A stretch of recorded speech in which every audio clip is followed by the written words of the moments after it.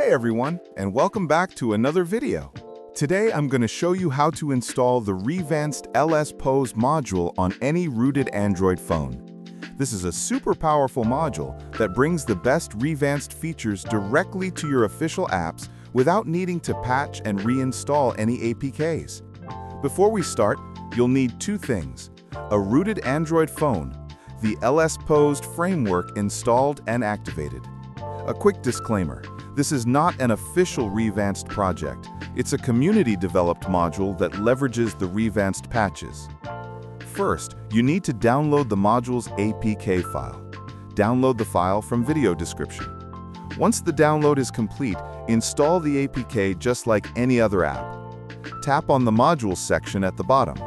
You should see Revanced in the list. Tap on it to activate it. Make sure the module toggle is enabled. In the app list, check the box next to every app you want to modify. For example, you'll want to check the boxes for YouTube, Spotify, Instagram, Reddit, and any of the other supported apps you have installed. So what's the big deal with this module? Instead of manually patching apps with the Revanced Manager, this LSPosed module injects the features directly into the official apps you download from the Play Store. It's cleaner, easier to update, and incredibly powerful. Here's a quick rundown of the key features it unlocks for various apps. YouTube completely removes video ads, integrates SponsorBlock to skip sponsored segments, intros, and outros, unlocks background playback, enables swipe controls for brightness and volume, adds options to hide UI components and customize navigation buttons, and much more.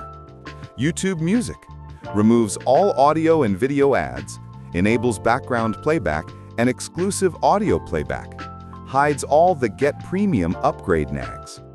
Spotify unlocks most Spotify premium features, giving you unlimited skips, on-demand playback, and an ad-free experience.